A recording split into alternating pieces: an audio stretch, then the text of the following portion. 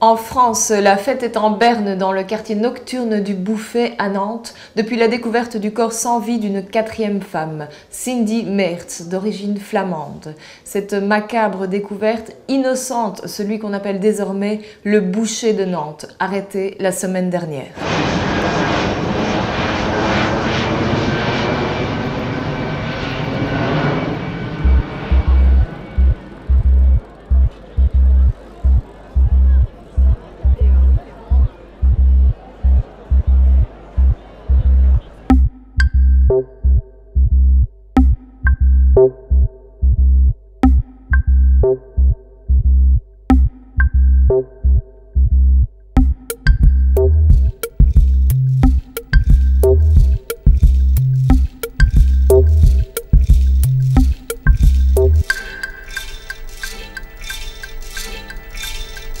Uh...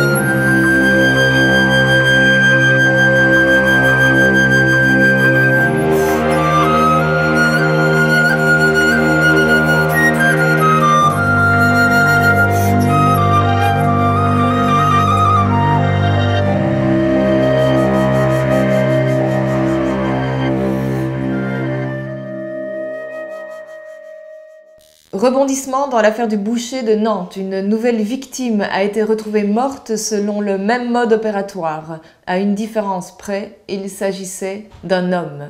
Reportage de Marc Saint-Pierre. C'est ici même, à la sortie du tunnel entre le square Elisa Mercœur et le parking Baco, où a été retrouvé Rodrigo Cassandro.